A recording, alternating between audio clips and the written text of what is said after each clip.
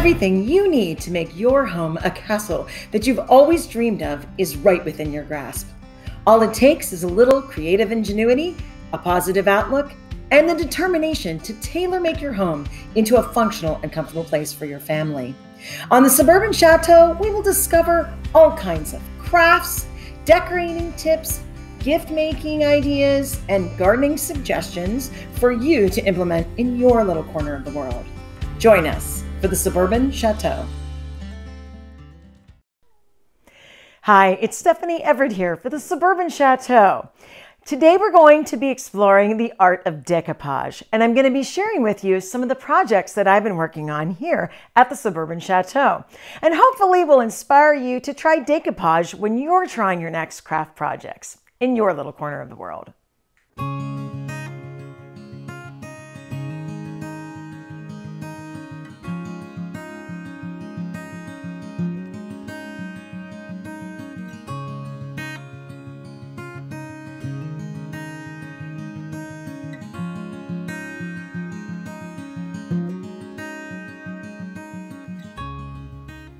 When I think of all the decoupage projects that I've done over the years, this is probably my prized possession, my favorite one that I've done. And this is a beautiful piece. My dad actually made this dresser back in the 70s, and it had a wood tone to it. And it was it was a 70s wood tone dresser, but it is all wood. And we used it as kids growing up, and it really worked well for us. When my girls were growing up, we needed a dresser for them in their bedroom, and I took this and had painted it white.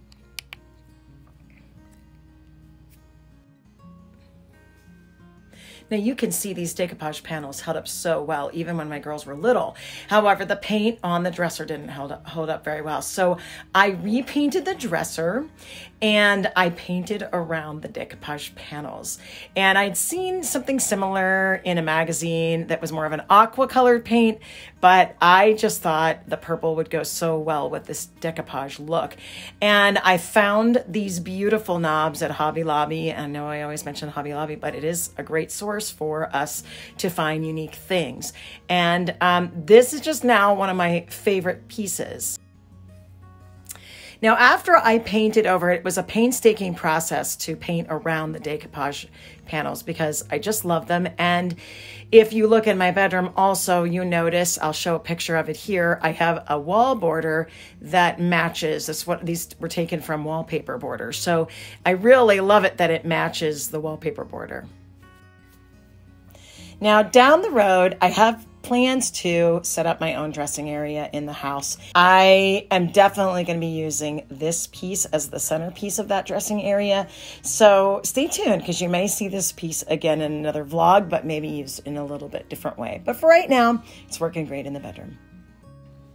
So today I'm finishing up some decoupage projects and I'm going to do one from start to finish.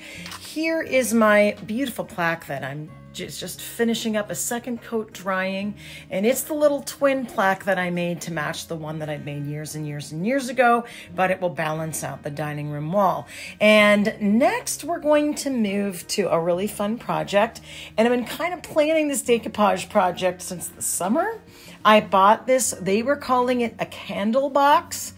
So this candle box was $12, um, but it's, as you can see, it's it's ready to go. It's painted. I thought maybe I could use it to put letters or stationery or something in it. Um, now, I recently just put up uh, some wallpaper border in our entry hall. And so that's what I'm going to use uh, for my decoupage um, pattern. And I really like a couple of flowers out of this pattern. Um, I especially love that. I believe these I believe they're peonies. They look like peonies to me.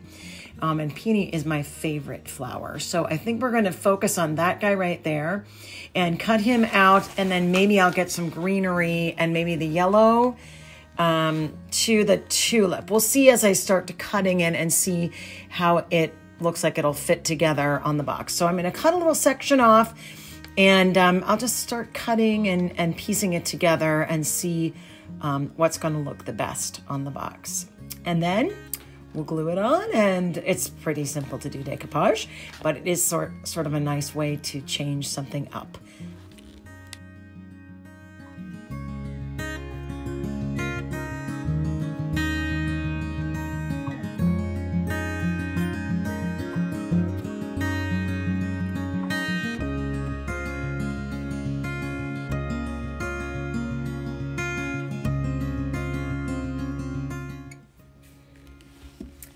Well, I have cut out a section of the beautiful wallpaper border. I'm gonna show you exactly what that's gonna look like on our candle box.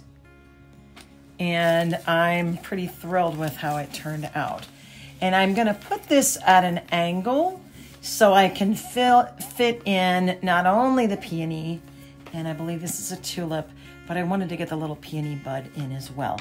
And then I have an extra leaf here that I'm going to try to also put behind the peony. So that's what it's going to look like as it sits on the candle box. So let's put some glue and get this decoupage started.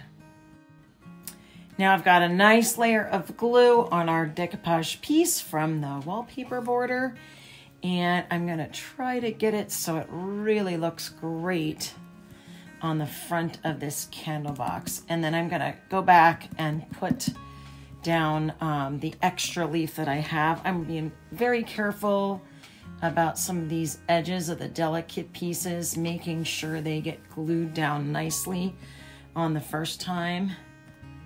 Um, we're gonna have a little bit of carryover with the Mod Podge, but I think it'll be okay. And then I'll be able to give it all a good coat and make sure it's all glued down.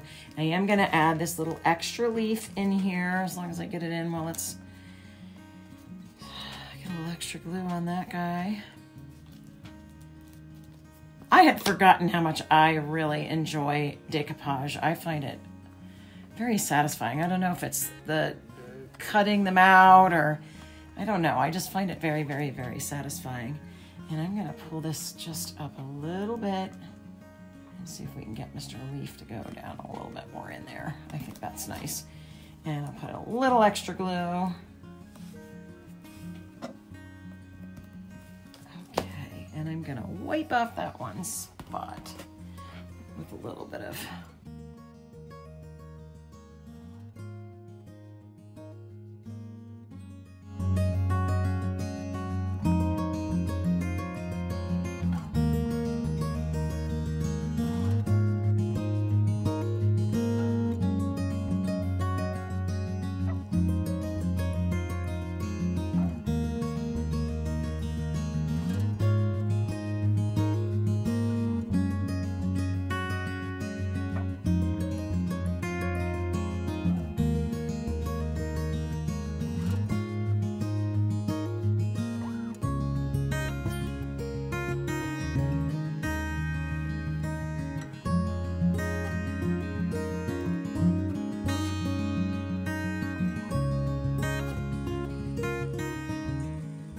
Here's a look at our final project. I'm so pleased with how the decoupage worked out. And I ended up using the box for cable storage. I always need a place to put my cables, so it really worked out well for the function.